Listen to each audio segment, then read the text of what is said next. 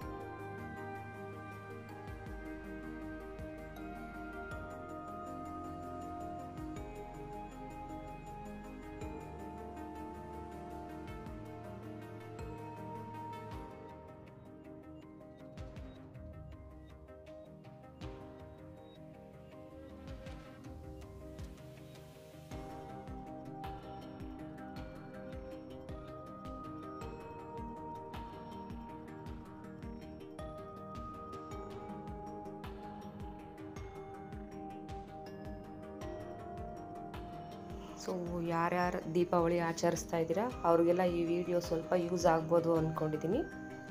thank you for watching